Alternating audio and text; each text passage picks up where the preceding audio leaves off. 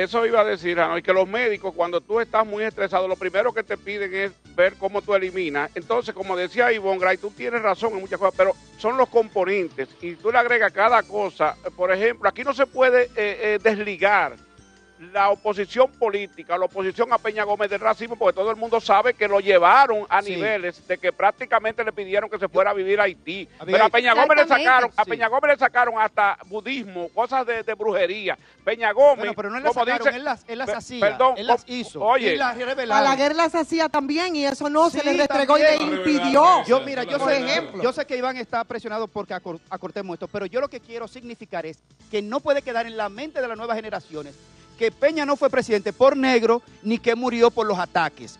Yo creo que es un importante. conjunto de todo. Bueno, pero si no ese es el leíste- resumen que vamos a hacer de la vida Pero de mi Peña amor, Gómez, pero si estamos no leíste, si no leíste, Pero él todo pudo ser presidente en el Coinci- 96 Coincidimos, automático. Grimer, por favor, porque eso es exactamente lo que nosotros Oye, hemos automático. dicho. O sea, no fue solo eso. A Jacobo no, se le impidió ser presidente y era blanco caucásico. Pero que él pudo ser presidente, escúchenme. Buenas tardes, buen provecho. Estaba Buenas tardes. Ahí en el camerino viéndolos.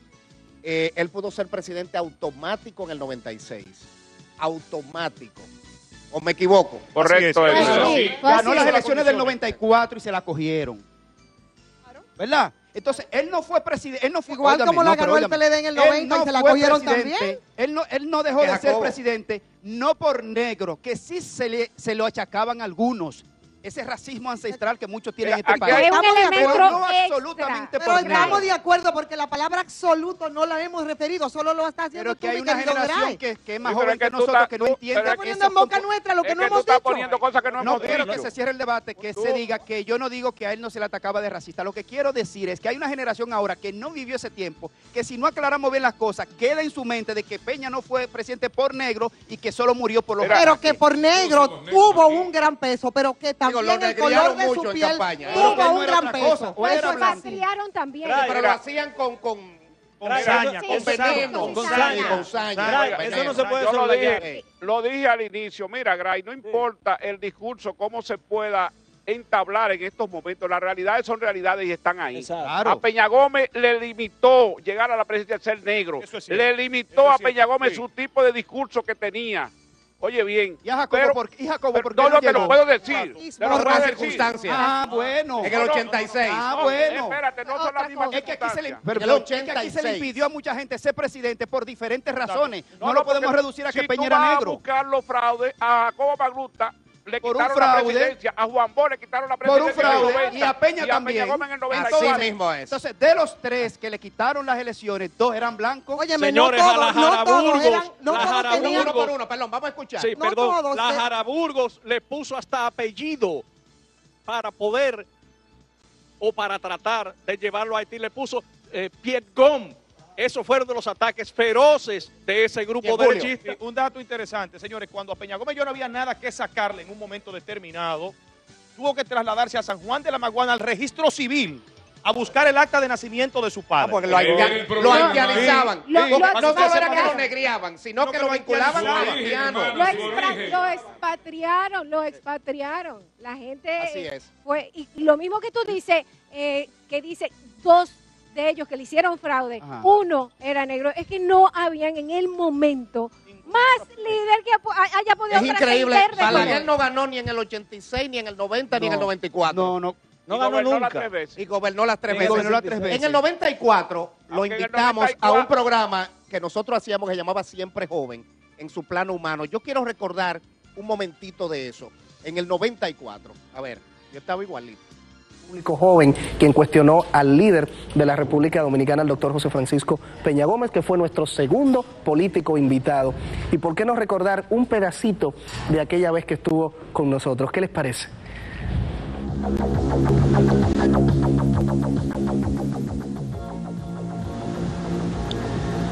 De pronto surgió la idea de caminar justamente hasta la casa del doctor José Francisco Peña Gómez. El objetivo básico es descubrir sus adentros, su dimensión humana.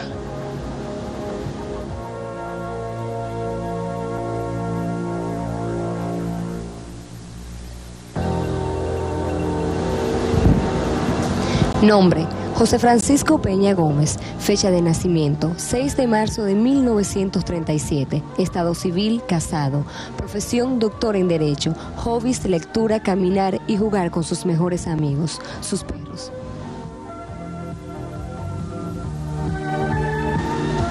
Su origen es profundamente humilde. José Francisco Peña Gómez.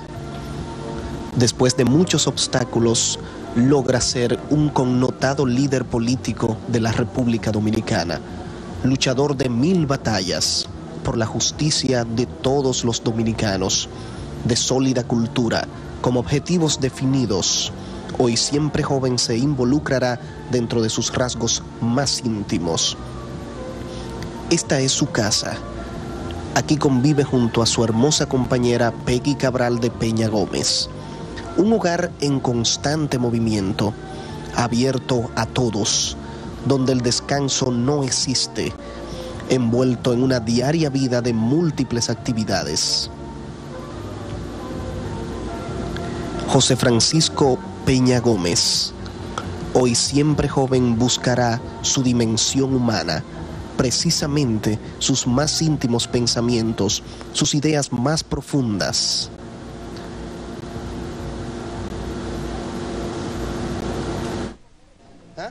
Yo creo que lo primero que se me ocurre preguntar es cómo es un día en su vida, que me inquieta muchísimo, a sabiendas de que yo viví lo que usted vive cada día en su casa, que está llena de gente todo el tiempo.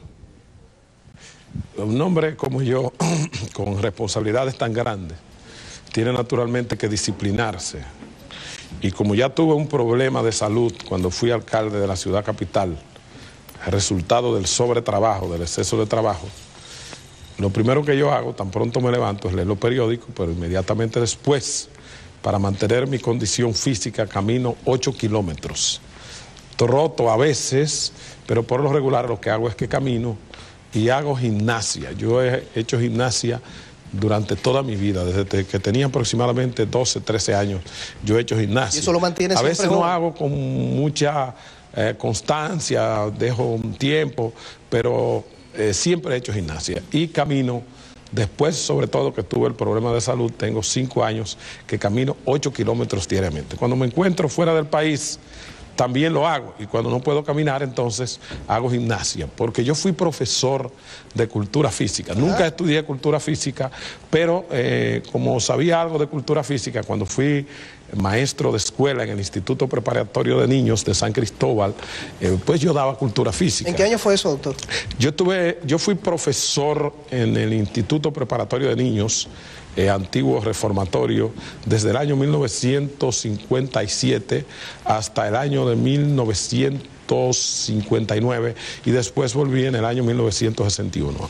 Pero como profesor en sentido general, comencé a los 14 años, en el año 1952, cuando el dictador Trujillo eh, convocó al pueblo para la la campaña nacional de alfabetización. Eso fue en el 52. Yo tenía 15 años para la época. Me enrolé como maestro. Dime, Indira, ¿qué pregunta le tienes al doctor? Ok. Como todos sabemos, usted es un gran luchador, que tiene una gran intelectualidad y ha viajado por muchos países que muchos de nosotros no hemos podido. Usted como ha observado culturas ajenas, o sea, culturas de otros países, ¿usted qué comparación yo creo que usted me haría entre la mujer dominicana, en la actual, y la mujer extranjera? ¿Cree que no hemos desarrollado o cree que no hemos quedado estancadas? Las mujeres dominicanas han avanzado notablemente. Creo que es un estudio de la UNESCO que establece que la República Dominicana es el país que tiene el mayor número de mujeres eh, graduadas en América Latina en la disciplina, por ejemplo, de la medicina y el mayor número de mujeres cursando medicina. Yo pienso que la mujer dominicana ha alcanzado un alto grado de liberación de tipo social, no así de tipo político, porque en las instituciones políticas la participación de la mujer es muy reducida, no, no así en, el campo profesional y en el campo intelectual y profesoral.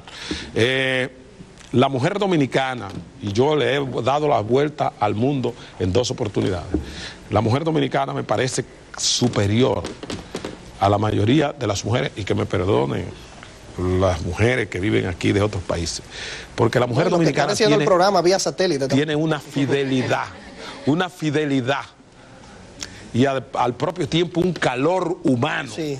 que es muy difícil encontrarlo. Sobre todo en la fidelidad, ¿eh? que se La conserva fidelidad. todavía. Además, las mujeres son, eh, dominicanas son excelentes amas de casa.